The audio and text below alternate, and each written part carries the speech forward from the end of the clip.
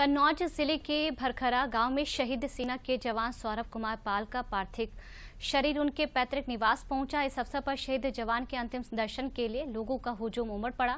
नमाखों से चारों तरफ़ भारत माता की जय। सौरभ पाल अमर रहे के नारे गूंज रहे थे। शहीद सौरभ पाल अग्निवीर योजना के अंतर्गत 2023 में भर्ती हुए थे। वे राजस्थान के भरतपुर ज़िले में तैनात थे।